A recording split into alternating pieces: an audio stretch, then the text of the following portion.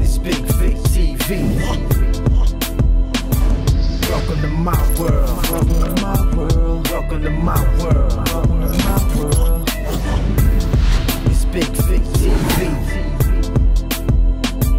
Welcome to my world. Welcome to my world. Give me a thumbs up just for the intro.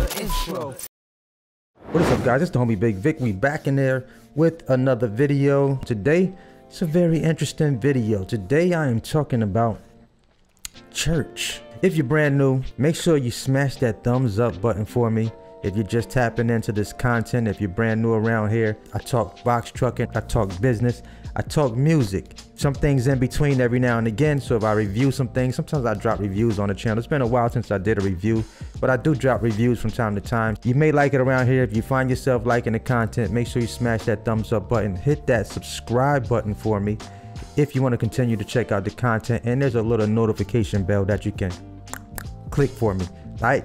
My topic today is basically about church. Church is always like, I don't know, like a a, a, a touchy subject. Like when we were in barbershops, they kind of say like some of the things that you don't talk about is like church and politics. Like if you're in the workplace, they say church and politics. You never discuss those things. But guess what? We're not in the workplace.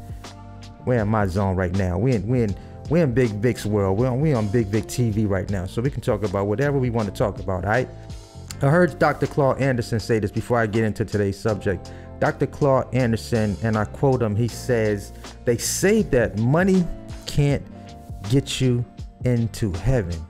Well, I say this, as he said, I'll let money take me as far as it can get me, and I'll get out and walk the rest of the way. Damn.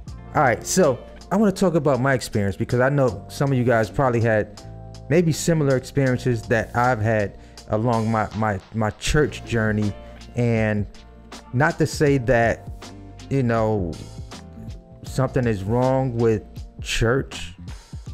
For me the experience was was cool but there's something that i noticed after attending for about four years or so. This is after kind of doing everything i wanted to do and i was like okay i tried everything else. I did find i found a church that i used to attend out in florence south carolina. Um, I won't say exactly which church it was, but it was a younger pastor. And that pastor kind of like brought a message that I could relate to. You know, he brought the word in a way that it was relatable to me. And I enjoyed it. I enjoyed it. I visited the church. Then, you know, I started bringing my family there. We became members. Uh, I ended up getting baptized. Uh, the whole, you know, the whole works. And started attending started uh you know beginning to you know started learning more about tithing. And this became like a really huge subject in that ministry in our church you know and uh, there was it was something that I never was doing. You know when I would attend church occasionally I would you know put something in a little you know little bucket little basket. You know when I attended different churches just visiting I would do you know make donations uh, just just giving uh, just to just to be given. It was on my heart, so I would give. You know, so but I found myself becoming real faithful at that that church in that ministry. I started learning about tithing, so I would write out the money that I made, you know, that I was making in the barbershop. I would write out how much I made for the week, take that, deduct 10%, and I would put that in church. Now, but what I started noticing that was happening when we would come in, I would go in on Tuesdays and I would go in on Sundays. And I was noticing that the message or how the service would start is with one of the scriptures, and it was, Will a man rob God? And that was the question the pastor would ask Will a man rob God? And the congregation would repeat back, well, he would ask, How will a man rob God? And the congregation would repeat back, Through tithes and offerings. So it always started off, the service always started off with that message. And after hearing this message repeatedly over and over and over again, either you're going to tithe or you're not going to tithe. So, yes, I was tithing faithfully. Faithfully. I was a faithful churchgoer and I brought so many people, you know, to that church to hear the message because, you know, I was excited about it. Of course, when you're excited about something, what do you do? You tell other people about it. So I end up had a, a lot of friends and family members that started attending that church based on, you know, my word and how I felt about it and how I explained, you know, the pastor to them. And it just kind of started getting to a point where, you know, I'm over time and over years, I'm doing a lot of tithing. I'm faithful. You know, um, I'm going to all the church functions, I'm participating, and I just found I wasn't growing. Like I wasn't growing financially. I wasn't. I was still broke. You know, I was growing religiously or spiritually maybe, um, but I just found that my money wasn't strong. I, I see, I seen the head prospering more than the flock. Moving, we moving from one church to a bigger church, and I'm looking at the congregation. I'm trying to see like who's growing here, like who's actually receiving, like what what information are we receiving that we're able to apply and be able to grow financially. You know, of course, we, we, we were growing spiritually, but I wasn't growing financially.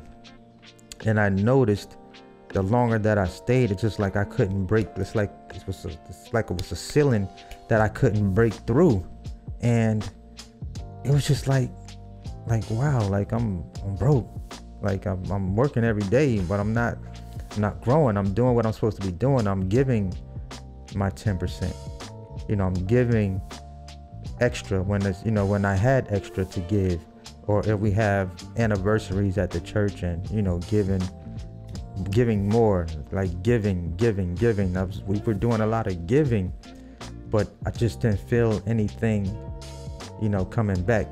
And I always ask myself, am I prospering now from the seeds that I planted then? now that I'm no longer a part of that organization, you know, so I still have a whole an entire spiritual spiritual journey that I do, but it's not related to, you know, any churches.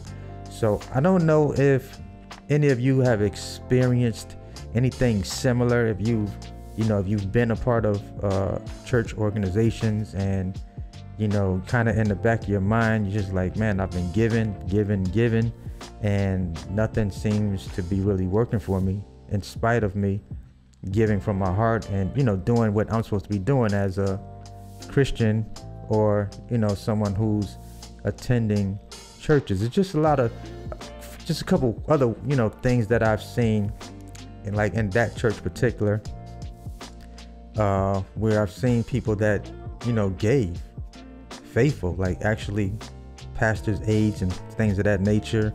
And you find yourself in a position where if you ever needed assistance after giving so much and the church is not able to assist you, I just don't think that's a good situation. I, you know, I feel like the church should be more so to help people, not only to help you in like your spiritual walk or your walk with God, but I just feel like it needs to be something reciprocated. If you ever fall on hard times, you should be able to come to the church for help. I I thought that's what the church was for, you know, but I didn't see that reciprocated when a few people needed help at times. And I was like, oh wow, they don't do that here. Just found it very just just a couple of things here and there that I that I was seeing once my eyes started on, on opening up a little bit and like my wife was never really like wanted to be a part of it like that. She came to support me and just so that our family would be on one accord. And it was just like, it, it, it was always like a, it was a little tough. Like certain events, certain events that would happen. I'm like, you know, we got to go to this uh, event, blah blah blah. And she was like, uh, I don't think I want to go. You know, so uh, it was a it was a tough a, a tough spot for me. You know, just certain things that I wasn't uh, a part of uh, participating in, you know, but I was tapped in. I was tapped in at 100%, you know, just it was a whole journey. It was a whole different journey. Um, have you guys experienced anything like that? You know, I visited other churches af- after that church and attended, and you know, I just just doesn't certain things just does, don't sit right with me. You know, knowing that I like grew exponentially after I disassociated myself from that. You know, uh, never disassociated myself from uh, God or my my higher power or my my my creator. You know what I'm saying? Never just not disassociating myself from that in a sense, but disassociating myself from being under an umbrella or a, a, a man, you know, at the at the head of a church. Per, you know, if I can say it that way. I just found that after I let that go, I started to grow more. Of course, I've always been an avid reader, you know, so I have a, a, a good library, nice library of books on, you know, all things all things personal development, things to help me grow as an individual. So I've always been tapped into that, you know, for years now. How do you guys feel about that? Like we're not that I'm asking about like your your your relationship with God, but have you ever been found yourself in a situation to where you were giving, giving, giving, but it just you just weren't wasn't you just were not reaping from what you were giving. Like I find myself now giving more in several different ways, you know, than I was at that time, even though I was giving, you know, to the church directly. But I find myself more of a cheerful giver now and still exercising the principles, all the spiritual principles, and that has been working for me. Like I said, doesn't matter what you do, everybody has a different journey. Everybody has their own paths that they're that they've taken. You know, maybe it's it worked for you. Like I said, some things that may work for me may not work for you. What may work for you may not work for me. You know, every, we all have our our different paths that we take out here in life. What experiences have you guys experienced? I don't know. I just want to have some dialogue, like some some some good positive dialogue. Like I'm not downing anybody that goes to church or anything. Whatever you believe in is what you believe in. Like this is not one of those type of videos. Just saying like what my experience was. So don't don't don't confuse the message. Like don't get the message confused. I just know like my growth. Like I grew more. Like I grew exponentially. Not only spiritually but financially as well after I disassociated myself from that. You know what I'm saying? So, what's your journey? What journey are you on? What do you believe in? You know, I know people feel like this is sort of like a a sensitive topic, but this not a sensitive topic. It's a big topic. It's like people, we all have different views and how we view things out here uh, in the world. Even when it comes to religion, politics, like we all have different beliefs. What do you believe? Tap in, chime in down below in the comment section. I, you know, I just I just know I had a, uh, you know, what my experience was. And, you know, if I tap into anything, I go all out in it. So that was my experience.